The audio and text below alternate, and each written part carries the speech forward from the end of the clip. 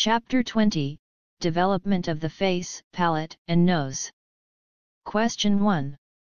The palatine processes begin to fuse it. A. 6 weeks post-fertilization. B. 8 weeks post-fertilization. C. 10 weeks post-fertilization. D. 12 weeks post-fertilization. Correct answer is D. 10 weeks post-fertilization. The maxillary arches develop at 6 week from which the palatine processes develop. The palatine processes elevate at 8 weeks, begin to fuse at 10 weeks and complete fusion by 12 weeks. Question 2. Complete bilateral cleft palate is due to failure of fusion of the A.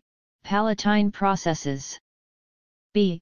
Palatine and frontonasal processes C. Palatine, frontonasal and secondary nasal processes D. Palatine, frontonasal, secondary nasal processes and mandibular processes. Correct answer is D. Palatine, frontonasal and secondary nasal processes. The primary palate is derived from the frontonasal process. The palatine processes forming the secondary palate arise from the maxillary processes, these must fuse with each other and the primary palate. The palatine processes must also fuse with the secondary nasal processes which are also derived from the maxillary processes. Question 3. Macrostomia results from failure of fusion of A.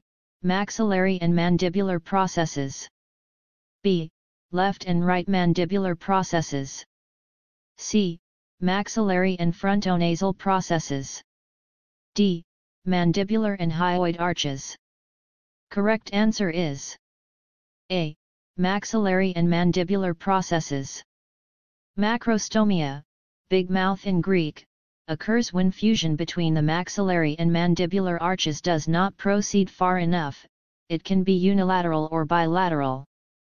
Facial clefting due to failure of the maxillary and frontonasal processes to fuse is very rare as is a midline mandibular cleft when the two mandibular processes fail to fuse. Question 4.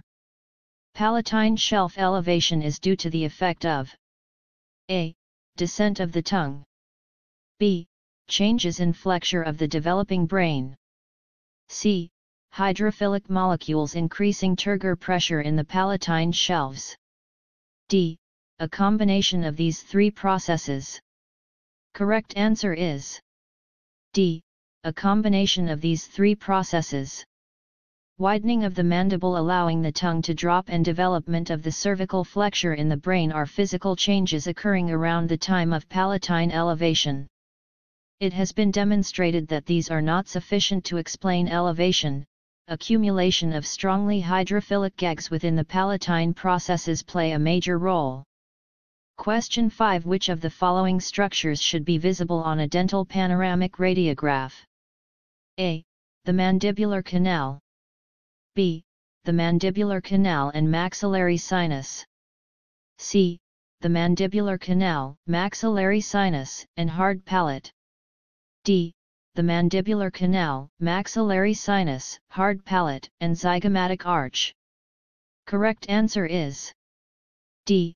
The mandibular canal, maxillary sinus, hard palate, and zygomatic arch. All the structures listed should be visible.